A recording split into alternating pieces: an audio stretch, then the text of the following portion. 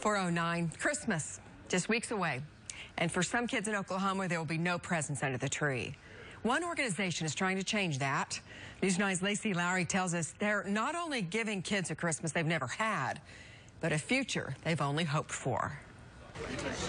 What I enjoy most about it is knowing that somebody still cares. Youth Services for Oklahoma County hosted its annual Christmas party for homeless teens. Some of the kids' uh, families themselves are homeless. Some of them are incarcerated. Some of their families are deceased. It's all part of their SKIL program or supporting kids in independent living. It's just so heartbreaking and at the same time just heartwarming just because we're able to do something like this for them. Like Gabriel and Paula, both teenagers are on their own. They tell us they bounce around from couch to couch, but both have big dreams. Where I was living and how I was going about my life, I probably wouldn't even um, probably wouldn't have been here right now. Paula wants to join the National Guard and become a registered nurse.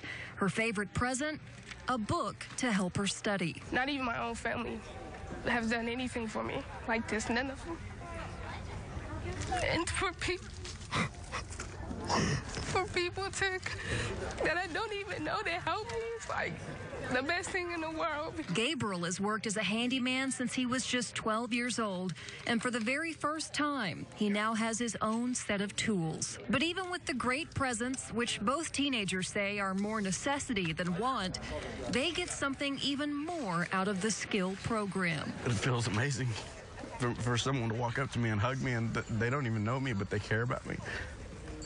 It's the best feeling in the world is to know someone, somebody still cares. Lacey Lowry, News 9. The YSOC is always needing donations. We hope you can help. Just log on to news9.com and look for this story.